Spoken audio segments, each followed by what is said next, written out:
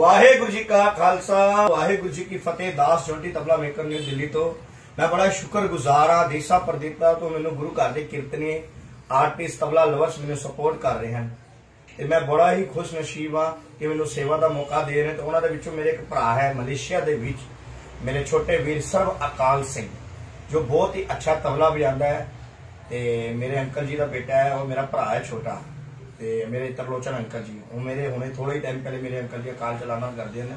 ਬਹੁਤ ਸੁਰੀਲੀ ਰੂਹ ਸਨ ਔਰ ਬਹੁਤ ਗੁਣੀ ਜਨ ਕੀਰਤਨੀਏ ਸਨ। ਮਲੇਸ਼ੀਆ ਦੇ ਵਿੱਚ ਰਹਿੰਦੇ ਸਨ। ਆਪ ਸਭ ਜਾਣਦੇ ਹੋਣਗੇ ਤੇ ਮਲੇਸ਼ੀਆ ਜਾਂਦੇ ਹੋ। ਇਕਬਾਲ ਮੇਰਾ ਭਰਾ ਛੋਟਾ ਬੜਾ ਅੱਛਾ ਹੈ। ਤੇ ਉਹ ਮੇਰੇ ਵੀਰ ਨੇ ਮੈਨੂੰ ਆਰਡਰ ਦਿੱਤਾ ਹੈ ਤੇ ਇੱਕ ਮੇਰਾ ਭਰਾ ਹੈ ਗੁਰਸਾਗਰ ਸਿੰਘ ਸਿਡਨੀ ਆਸਟ੍ਰੇਲੀਆ ਦੇ ਵਿੱਚ। ਤੇ ਉਹਨਾਂ ਵਾਸਤੇ ਇੱਕ ਸਪੈਸ਼ਲ ਮੈਂ ਕੋਪਰ ਪਲੈਨਟ ਬਰਾਸ 3.5 ਕਿਲੋ ਪੌਣੇ 4 ਕਿਲੋ ਦਾ ਹੈਵੀ ਬਾਇਆ ਬਣਾਇਆ।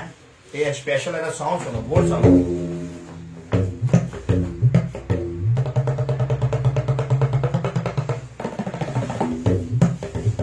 और डी और डी शार्प का तबला साढ़े पाँच इंची।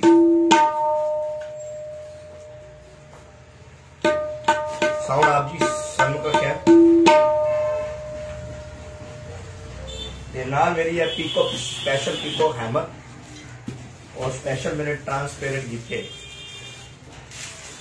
ਔਰ ਮੈਂ ਨਵੀਂ ਚੀਜ਼ ਹੋਰ ਦੱਸਣਾ ਚਾਹਾਂਗਾ, ਔਰ ਇਹ ਮੇਰੇ ਫਾਈਬਰ ਰਿੰਗਸ ਜਿਹਦਾ ਮੈਂ ਨਾਮ ਰੱਖਿਆ ਫਾਈਬਰ ਰਿੰਗਸ ਪਹਿਲੇ ਜੋ ਫਾਈਬਰ ਰਿੰਗਸ ਚੱਲ ਰਹੇ ਸੀ, ਉਹ ਥੋੜੇ ਭਾਰੇ ਸੀ।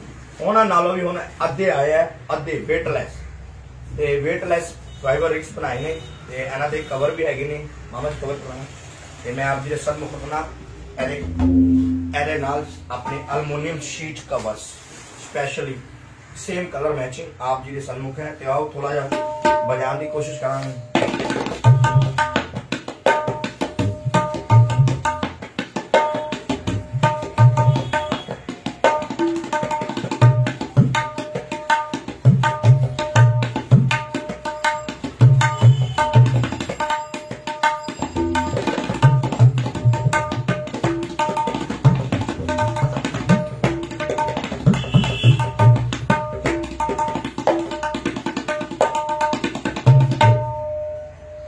ਤੇ ਆਪਣੀ ਅਸੀਸਾਂ ਬਖਸ਼ੋ। ਮੇਰਾ YouTube channel Jonty Tabla subscribe ਕਰੋ। ਬੈਲ ਆਈਕਨ ਵਜਾਓ ਤੇ ਆਪਣੇ ਕਮੈਂਟਸ ਦਿਓ ਤੇ ਉਹਨਾਂ ਵਿੱਚ ਮੈਨੂੰ ਹੋਰ ਦੱਸੋ ਕਿ ਮੈਂ ਹੋਰ ਕੀ ਸਿੱਖ ਸਕਾਂ ਤੇ ਆਪ ਜੀ ਦੀ ਸੇਵਾ ਕਰ ਸਕਾਂ ਔਰ ਮੇਰੀ ਗਲਤੀਆਂ ਮੈਨੂੰ ਦੱਸੋ ਔਰ ਕਿਉਂਕਿ ਮੈਨੂੰ ਹੋਰ ਸਿੱਖਣ ਨੂੰ ਮਿਲੇ, ਮੈਂ ਆਪ ਜੀ ਦਾ ਸਿੱਖ ਬੱਚਾ, ਜੋਂਟੀ ਤਬਲਾ ਮੇਕਰ ਔਰ ਮੇਰੀ ਵੀਡੀਓਜ਼ ਜ਼ਿਆਦਾ ਤੋਂ ਜ਼ਿਆਦਾ ਸ਼ੇਅਰ ਕਰੋ। WhatsApp, Instagram, YouTube ਤੇ ਔਰ ਆਪਣੇ ਕਮੈਂਟਸ ਦਿਓ ਔਰ ਆਪਣੀ ਬਲੇਸਿੰਗ ਦਿਓ ਵਾਹਿਗੁਰੂ ਜੀ ਕਾ ਖਾਲਸਾ, ਵਾਹਿਗੁਰੂ ਜੀ ਕੀ ਫਤਿਹ।